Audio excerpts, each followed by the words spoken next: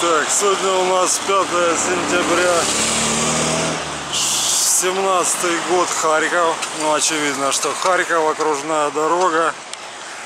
Решил я снять, чтобы было понятно, насколько близко Харьков к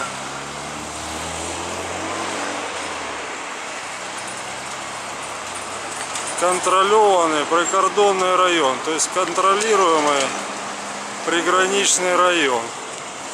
И там уже километрах в 25 Российская Федерация.